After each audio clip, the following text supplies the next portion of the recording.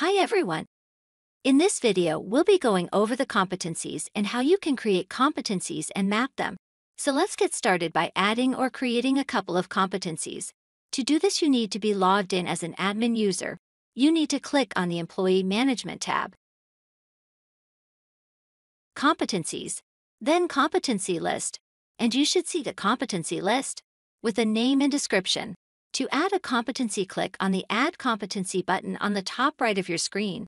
Give the competency a name and a description.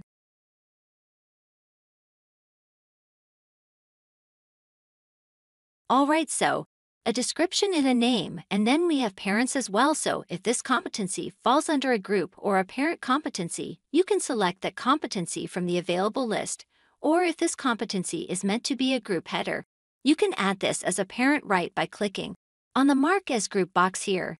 Now let's just go ahead and save this. If I don't add a parent, it will automatically add this competency under the miscellaneous groups.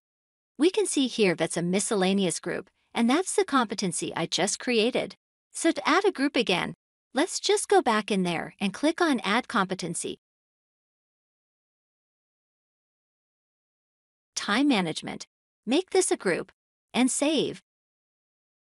So as you can see down here, we've got the new time management competency group all right.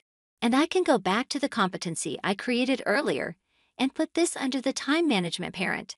All right, there you go so that's the group header.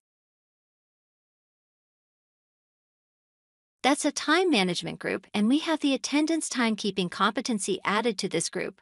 So that's how you would add a competency into the system and add it or structure it into different groups. Thank you for watching the video. If you have any further questions, please contact us at info at orangehrm.com or visit our website at www.orangehrm.com.